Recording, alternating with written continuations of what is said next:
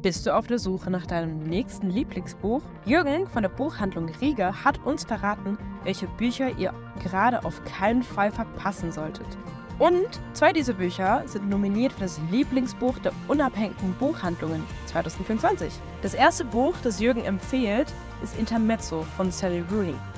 Es handelt von zwei Brüdern, der eine charmant, der andere zurückhaltend, die nach dem Tod ihres Vaters wieder zueinander finden müssen. Es ist eine bewegende Geschichte über Liebe, Verlust und den Sinn des Lebens.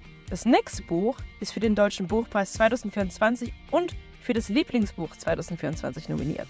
In Mein drittes Leben von Daniela Krien geht es um eine Frau, die sich nach dem Verlust ihrer Tochter langsam wieder ins Leben zurückfindet. Kleine Alltagsmomente wie die Liebe zu ihrem Hund und die Arbeit im Garten geben ihr neue Kraft. Pi mal Daumen ist die dritte Empfehlung.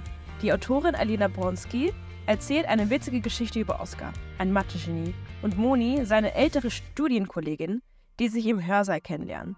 Die beiden Freundinnen sich an und zeigen, dass Mathe keine Altersgrenzen kennt. Es ist ein warmherziges Buch mit viel Humor. Und das Beste, auch dieses Buch ist nominiert für das Lieblingsbuch der unabhängigen Buchhandlungen 2024. Die letzte Empfehlung von Jürgen Rieger ist Munk von Jan Weiler. Hier geht es um Peter Munk. Er ist 51, erfolgreicher Architekt und hat gerade einen Herzinfarkt überlebt.